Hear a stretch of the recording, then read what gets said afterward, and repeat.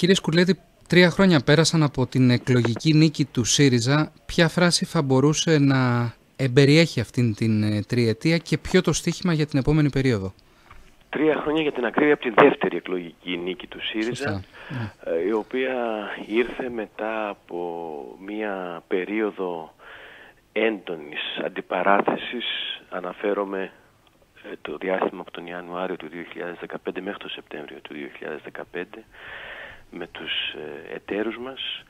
Έναν συμβιβασμό ε, που ήταν αναγκαίος και ξεκίνησε μια νέα φάση αφού προηγουμένως όπως θυμάστε και δεν πρέπει να το ξεχνάμε αυτό ο ίδιος ο ελληνικός λαός είχε σε γνώση του το περιεχόμενο της τελευταίας συμφωνίας που υπογράφηκε το καλοκαίρι του 2015 ξεκίνησε μια πορεία δύσκολη με αντιφάσεις όπου όμως ολοκληρώθηκε. Και είναι για πρώτη φορά ε, μετά την είσοδο της χώρας στα μνημόνια που ένα πρόγραμμα ολοκληρώνεται χωρίς να υπάρχει ανάγκη να πάμε σε ένα καινούριο. Άρα αυτό είναι μια ε, πρώτη Ενώ ε, η υλοποίηση του τελευταίου προγράμματος έγινε με ένα τέτοιο τρόπο όσο αυτό ήταν δυνατόν ώστε να έχει τις λιγότερες επιπτώσεις ε, στην ίδια την ε, κοινωνία.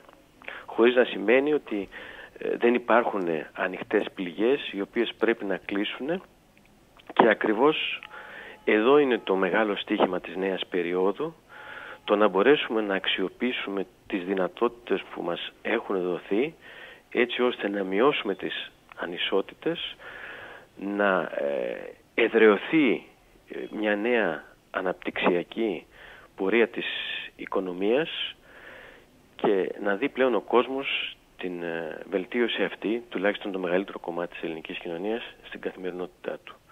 Εκεί πάνω νομίζω ε, θα κρυθεί τελικά ε, η κυβέρνηση και όλες οι προσπάθειές της. Μάλιστα και η κυβέρνηση έχει ήδη ξεκινήσει να παίρνει μέτρα υπέρ των πολιτών. Να τα εξειδικεύσουμε όμως λίγο. ακόμη και τώρα, μερίδα των θεσμών, το Διεθνές Νομισματικό Ταμείο, επί παραδείγματι, επιμένει σε σκληρή στάση στο θέμα των συντάξεων. Από την άλλη, η κυβέρνηση επιμένει και αυτή από την πλευρά της ότι δεν θα πάρει το μέτρο. Η μονομερής ενέργεια είναι στη φαρέτρα της κυβέρνησης; Σωστά επισημαίνεται ότι ε, και σε αυτή την περίοδο ε, θα υπάρχουν αντιπαλότητες. Θα υπάρχουν πάντοτε δυνάμεις οι οποίες με έναν κοντόφθαλμο τρόπο, με μια ακραία δογματική λογική, θέλουν να επιβάλλουν ε, λύσεις οι οποίες ε, τελικώς είναι ε, αντικοινωνικές. Δεν υπάρχει κανένας λόγος να εφαρμοστεί ένα μέτρο το οποίο ψηφίστηκε στην προηγούμενη περίοδο όταν υπήρχε η αβεβαιότητα της επίτευξης των δημοσιονομικών στόχων που είχαμε ε, αναλάβει ως ε, δέσμευση και αναφέρομαι στα πρωτογενή πλεονάσματα. Αυτό το μέτρο λοιπόν της ε, μείωσης των ε, συντάξεων από πρώτης πρώτης 19 είναι ένα αχρίαστο μέτρο και γι' αυτό δεν πρέπει να εφαρμοστεί.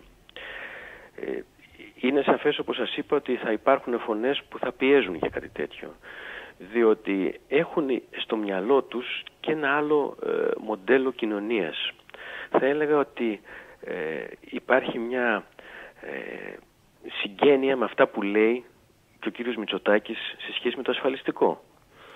Όπου στην δικιά του πρόταση, η οποία φαίνεται να είναι πολύ συγγενής με αυτή του Διεθνούς Νομισματικού Ταμείου, δεν χρειάζεται να υπάρχει ένα υγιές, βιώσιμο, δημόσιο σύστημα κοινωνικής ασφάλισης, αλλά θα πρέπει κατά βάση να εκχωρηθεί αυτό στον ιδιωτικό τομέα που στην πράξη όμως σημαίνει ότι αυτοί οι οποίοι θα απολαμβάνουν μία σύνταξη στη ζωή τους θα είναι αυτοί οι οποίοι είχαν την τύχη, την ευκαιρία, την δυνατότητα να έχουν συνεχώς δουλειά και κάποια αντίστοιχα εισοδήματα για να πληρώνουν τις ε, εισφορές τους στις ιδιωτικές ασφαλιστικές εταιρείες. Αυτό όμως είναι η κατάρρευση του κοινωνικού χαρακτήρα του ασφαλιστικού συστήματος. Αθρίζω λοιπόν τις απόψεις του Διεθνούς Νομισματικού Ταμείου με αυτές τις νέας ε, δημοκρατίας για το συγκεκριμένο ζήτημα. Εμείς ακριβώς έχουμε μια εντελώς διαφορετική λογική. Ε, και αυτή η, η, λογική δεν σημαίνει ότι ε, αγνοούμε τις δεσμεύσεις που έχουμε αναλάβει για μια περίοδο μετά την ολοκλήρωση του προγράμματος, η οποία παραλαμβάνω, ε, δεν, δεν απειλούνται αυτοί οι στόχοι ε, λόγω πλέον ε, μιας πολιτικής η οποία έχει δείξει ότι αποδίδει. Μάλιστα.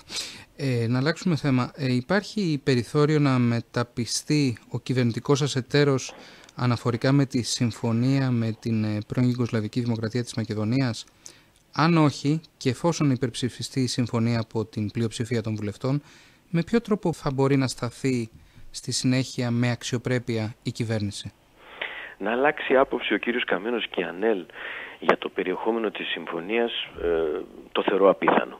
Ούτε κανείς του το ζητάει αυτό. Εκείνο όμως το οποίο θα πρέπει και αυτός να συνυπολογίσει είναι το εξής.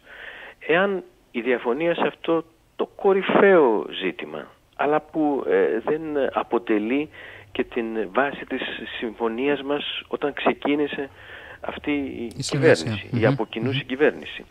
Αν είναι η αιτία για να ακυρώσει τελικά τους λόγους που βρεθήκαμε μαζί και τον Ιανουάριο του 2015 και τον Σεπτέμβριο του 2015. Είναι λοιπόν μεγάλη πολιτική ευθύνη του κυρίου Καμένου σε μια ε, επιτυχημένη προσπάθεια με τις αντιφάσεις επαναλαμβάνω, με τις δυσκολίες και από εδώ και μπρος ε, που έχει αυτή ε, αλλά που έχει περάσει ένα σημαντικό κάβο αυτό της ολοκλήρωσης του προγράμματος να την υπονομεύσει την τελευταία στιγμή, στην τελευταία ευθεία λόγω της διαφωνίας του για το μακεδονικό.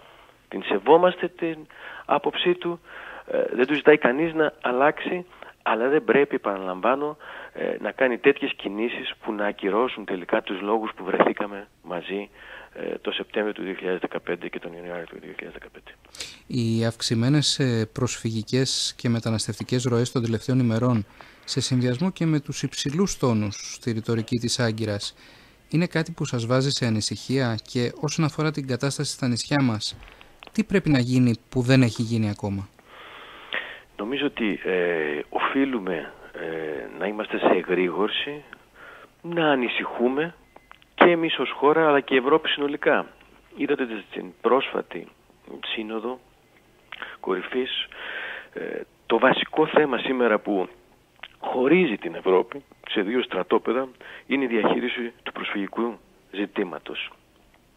Θα υιοθετήσουμε μια λογική εθνικής περιχαράκωσης η οποία δεν θα εξασφαλίσει και αυτά που τα οποία θέλει να εξασφαλίσει. Κανείς δεν μπορεί να ε, κλείνει τα μάτια, να στουρθροκαμιλίζει, να θεωρεί ότι θα μείνει έξω από αυτό το παγκόσμιο ε, προσφυγικό ε, κύμα ή τις μεταναστευτικές ροές εάν δεν υιοθετήσει μια πολιτική που να απαντάει στις ρίζες που γεννούν αυτό το φαινόμενο. Και αυτή την ευθύνη την έχει ε, συλλογικά όλη η Ευρώπη, την ε, έχουν όλες οι ευρωπαϊκές ηγεσίες. Εμείς έχουμε την ε, ιδιομορφία να είμαστε το εξωτερικό σύνορο της Ευρώπης, να υφιστάμεθα τις μεγαλύτερες πιέσεις. Άρα διεκδικούμε μία έμπρακτη στάση αλληλεγγύης από τους Ευρωπαίους εταίρους και προφανώς πρέπει να αξιοποιήσουμε ό,τι δυνατότητες έχουμε για να μπορούμε να ε, πρώτα απ' όλα να ε, αποσυμφορίζουμε τα ίδια τα νησιά που σήμερα έχουν δεχτεί μετά την αύξηση των ροών τους τελευταίους μήνες μια πολύ μεγάλη πίεση.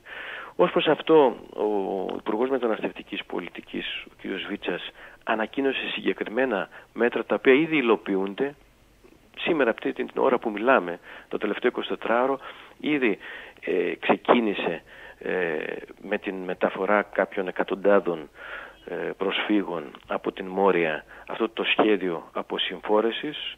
Ε, υπάρχει μια, ένας σχεδιασμός για 3.000 αυτή τη στιγμή πρόσφυγες οι οποίοι θα φύγουν από τα νησιά, τα νησιά του Ανατολικού, του Βορειοανατολικού Αιγαίου που έχουν το μεγαλύτερο πρόβλημα και βέβαια οι ίδιες οι συνθήκες αυτές καθεαυτές ε, στα συγκεκριμένα ε, σημεία φιλοξενίας πρέπει ε, διαρκώς να επιτηρούνται ώστε να καλύπτουν με έναν αξιοπερκυπή τρόπο κάποιες στοιχειώδες ανάγκες. Εκεί πέρα επαναλαμβάνω ότι υπάρχει και μια υποχρέωση των εταίρων μας για μια ηθική, πολιτική και ηλική στήριξη. Ένα από τα στοιχήματα για τον ΣΥΡΙΖΑ το 2019 είναι οι αυτοδιοικητικές εκλογές. Η κυρία Γεννηματά σας εγκαλεί για πολιτική δηλία, ότι πάτε δηλαδή, όπως υποστηρίζει, να κρύψετε την αδυναμία του κόμματός σας πίσω από συνεργατικά σχήματα. Τι απαντάτε; Νομίζω ότι η κυρία Γεννηματά δεν έχει καταλάβει τι έχει συμβεί στον χώρο της. Εδώ έχει φύγει το έδαφος κάτω από τα πόδια της, από το 12 και μετά και πολύ περισσότερο τα τελευταία χρόνια και η κυρία Γεννηματά θεωρεί ακόμα ότι βρίσκεται στις παλιές καλές, εντός εισαγωγικών καλές εποχές. Δεν έχει καταλάβει ότι η ίδια η κοινωνία και αυτός ο κόσμος που εκφραζόταν από τα παραδοσιακά σχήματα της κεντροαριστεράς έχει προσπεράσει τα σχήματα αυτά και πολύ περισσότερο τις ηγεσίες τους. Σήμερα υπάρχει ένας νέος πολιτικός χάρτης, υπάρχει μια εδρεωμένη πρωταγωνιστική θέση και παρουσία του ΣΥΡΙΖΑ στην πολιτική σκηνή της χώρας. Εμείς επιδιώκουμε ισότιμες αυτοδιοικητικές συνεργασίες με εκείνες τις δυνάμεις που μπορούμε να συμφωνήσουμε πάνω σε συγκεκριμένα προγράμματα. Και αυτό θα κάνουμε. Μιλάμε με αυτοδιοικητικούς όρους, σεβόμαστε την αυτονομία της αυτοδιοίκησης, θέλουμε να συγκροτήσουμε σχημαχικά νικηφόρα εκλογικά ε, σχήματα. Τώρα, η κυρία Γεννηματά καλά θα κάνει ε, να μπορέσει να δώσει απαντήσεις όπως εκείνη το αντιλαμβάνεται προφανώς στα μεγάλα προβλήματα στρατηγικής και πολιτικού ετεροκαθορισμού που χαρακτηρίζουν σήμερα το χώρο της ε, κεντροαριστεράς. Ε, ευκαιρία ζωφήσης, ε, η Ελλάδα στρίβει αριστερά έγραφε στο πρωτοσέλιδό του το περιοδικό Time όχι τρία χρόνια πριν, αλλά το 1981 τι ήταν τελικώς ο Ανδρέας Παπανδρέου για την αριστερά και τι παρακαταθήκες άφησε; Είναι ένα ερώτημα πάρα πολύ Και ξέρετε κάθε εποχή έχει τους ε, ανθρώπους που ε, σφραγίζουν την, ε, τις εξελίξεις και προφανώς ε, η πολιτική διαδρομή και παρουσία του Ανδρέα Παπανδρέου ήταν μια τέτοια διαδρομή που σφράγισε τα χρόνια και της μεταπολίτευσης και ιδιαίτερα μετά το 81. Αλλά ξέρετε είναι λάθος να συγκρίνουμε πολιτικές προσωπικότητες και συνθήκες προηγούμενων διακαετιών με το σήμερα. Ο, ο Ανδρέας Παπανδρέου ε, ιδιαίτερα στην πρώτη φάση της διακυβέρνησής του ε, μπόρεσε και εξέφρασε έναν μεταπολιτευτικό ριζοσπαστισμό που είχε αναπτυχθεί στην ελληνική κοινωνία αλλά ε, το όλο εγχείρημα τελικά του Πασόκ θα έλεγα ότι οδήγησε και σε μια απονεύρωση αυτού του ριζοσπαστισμού. Και θα μπορούσα ε, να αναφερθώ ε, σε μεγάλες ευθύνες αυτής της διαδρομής του, ιστορικού κόμματος του Πασόκ και για την κατάσταση του συνδικαλιστικού κινήματος και για το πώς αντιλαμβανόταν ε, τα ζητήματα των κοινωνικών ανισοτήτων, της ανάπτυξης, το πώς διαχειρίστηκε τον, την ίδια την παρουσία και τον ρόλο του δημόσιου τομέα και το πώς τελικά ε, από ένα σημείο και έπειτα από τα μέσα της δεκαετίας του 80 σε μια ε, συμπληρωματικότητα, προγραμματική συμπληρωματικότητα με τη Νέα Δημοκρατία διαμορφώσαν ένα διπολικό ε, πολιτικό σύστημα το οποίο οδήγησε στην κοινωνική και οικονομική χρεοκοπία. Και ένα τελευταίο ερώτημα. Ε, πολιτική και δημοσιογραφία.